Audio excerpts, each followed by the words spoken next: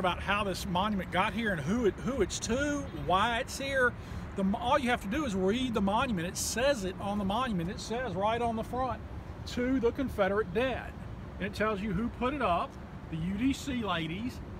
Uh, it is not to any Confederates who were living at the time in 1906. They are not glorifying what the university did or excuse me, what the Confederacy did. They're not saying anything about slavery or why they fought or why they, they, they, any other cause of the war. They don't get into that. If you send a boy to war, to the Civil War, and he dies, he gets killed, odds are he is buried somewhere there on the battlefield. Uh, at Shiloh, for example, there are five burial pits that the Confederates end up in. The biggest one are seven deep and over 700 Confederates. If you send a boy to war and he gets killed, you don't get a body back. You don't get what we would call now closure. You don't get your son back, your dad back, your cousin, your uncle, your brother. You don't get a body back. Uh, you also have a pretty darn good idea that number one, he does not receive a decent burial. He's uh, either not buried at all, he's partially buried, or he's thrown into a pit with hundreds of others. Like at Shiloh. Like at Shiloh. Uh, like we talked about dead chickens. Seas yeah. go through chicken coop, you dig a hole and throw them in. That's all they could do after those battles. And several other battlefields across the country. Yes, yeah, oh, oh yeah, most battlefields. You're right. Uh, on most battlefields, like uh, again, I use Shiloh an example, only 85 miles from here as a crow flies. 85 Ole Miss boys were up there uh, in that battle, and uh, we know that 13 died and eight were wounded up there. Ole Miss boys in 20 different units we know that some of those Ole Miss boys have to be in those burial pits. Uh, it, it, just makes sense that some of them are there. Uh, and those their mothers, their daughters, their wives, their sisters all knew that their their sons, their family members were not buried properly. So after the war, uh, they want to put monuments up, not just here in Lafayette County, but all over the South to the dead. They don't put it up to anything else. They are just remembering all those boys they didn't get back. The University Grays, one third of them are dead four years later. Uh, the class of 1861, out of those 28 kids, 30% of them are dead four years later.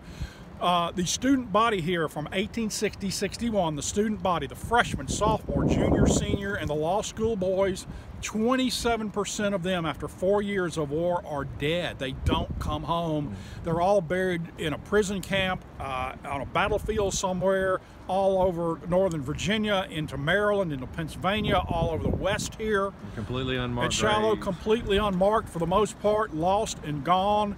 Uh, after er most every major battle, you can find uh, newspaper accounts and letter and diary accounts of uh, dead bodies that get eaten by the crows, eaten by the vultures, eaten by the wild dogs, eaten by wild hogs. And these women here know that's what happened to their family member more than likely. So they want some kind of monument, some kind of remembrance, some kind of closure for their family members. So all over the South, they put monuments up uh, to remember those boys who didn't come home, who never received decent burials.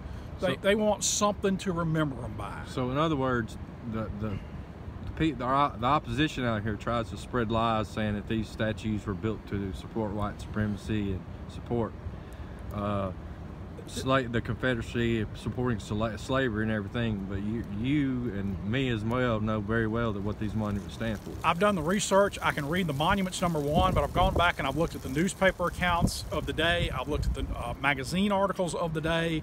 I've looked at the words of the ladies themselves who put these monuments up, and they say, they tell you, we put them up to the dead. This one right here behind me on the uh, bottom of the circle here at the University of Mississippi uh, was put up to honor the uh, Confederate dead of two cemeteries.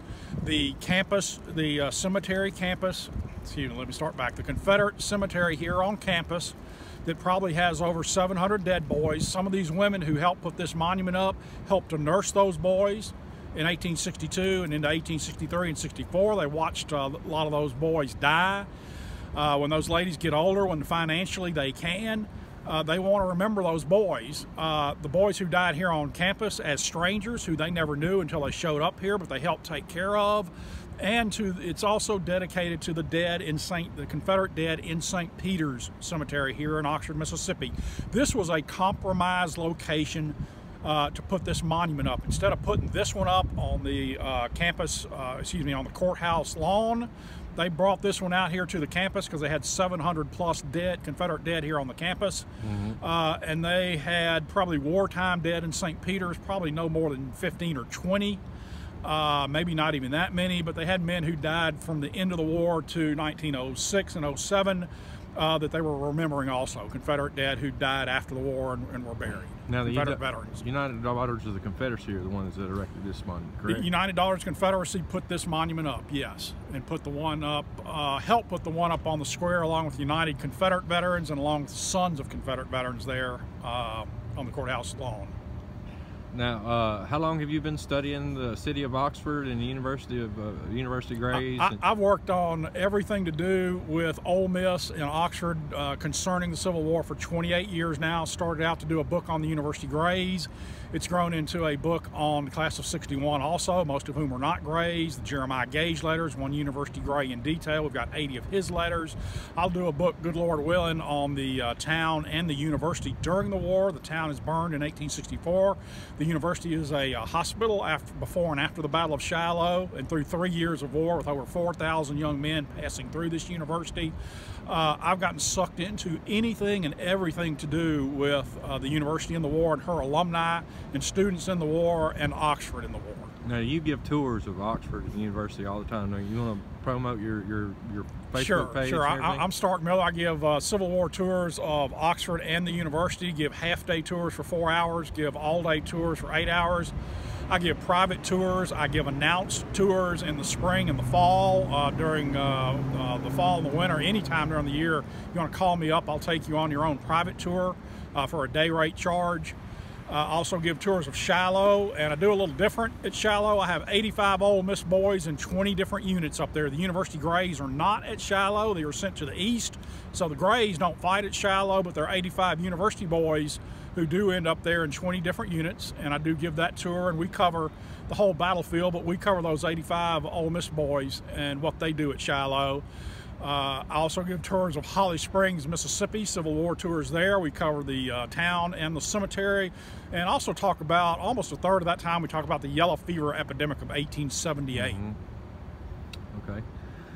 Uh, so, with all the light of what's going on on the university right now and all the uh, whitewashing of the traditions at the university, what's your opinion about that, and uh, what do you want to see in the future? I've worked so hard and so long to find the truth on all this material. People uh, argue about this for the last 40 years, and most people have no idea what the true facts are. Most people have no idea why this monument is here and who put it up, or the one on the uh, courthouse lawn, why it's there and who put it up. Uh, when you dig down and find the truth, uh, it is much better than all the myths and legends that have grown up good Lord willing, I'll get several books written. I've moved here to Oxford to do that, to do the actual writing of the books that I've been researching for so long now. Uh, and I just need to get a lot of books written and get the truth out as I've found it. And we'll be looking forward to those books. Mr. Miller, I appreciate you showing me around today. Thank you, George. All right.